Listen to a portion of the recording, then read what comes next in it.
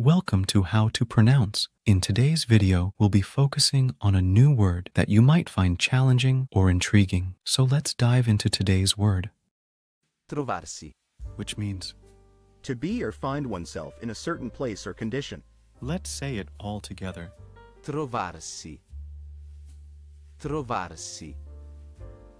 Trovarsi. One more time. Trovarsi. Trovarsi. Trovarsi. Thank you for joining us on this adventure in pronunciation.